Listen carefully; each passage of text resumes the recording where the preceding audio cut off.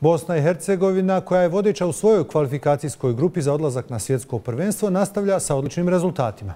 Bosna i Hercegovina u prijateljskoj utakmici savladala Sloveniju sa 3 naprema 0. Odmah idemo slikom ispred stadiona Stožice u Ljubljani gdje nas čeka Emir Delić koji je pratio utakmicu Slovenija, Bosna i Hercegovina. Emire, da li su loši vremenski uslovi previše uticali na večerašnju utakmicu?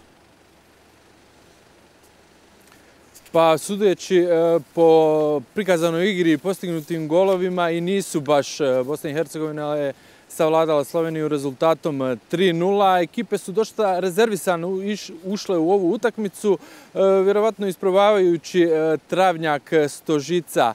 Prvu pravu priliku imao je Miralem Pjanić, ali je golman Samir Hajndanović pokazao zašto je jedan od najboljih čuvara mreže u Evropi.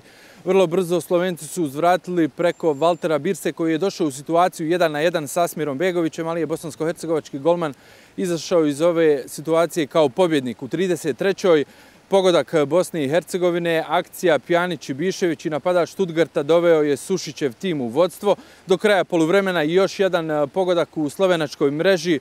Akcija e, i Bišević, Džeko, Pjanić i mladi napadač Rome je takvu akciju zaključio pogodkom.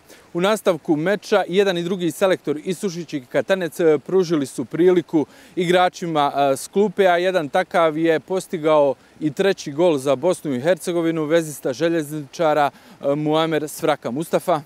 Da li je ovo najduži niz Bosne i Hercegovine bez poraza od kako nastupa na utakmicu?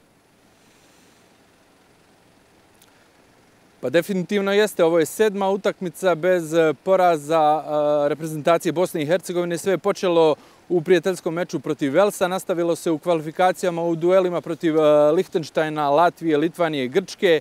Nastavilo se e, u prijateljskom susretu protiv Alžira. I evo sada sedmi meč ovdje na stadionu Stožice protiv Slovenije. Dakle, sedmi meč za redom Bosne i Hercegovina nema poraza. Mustafa? Iz Ljubljane se javio Emir Delić. Emir, hvala.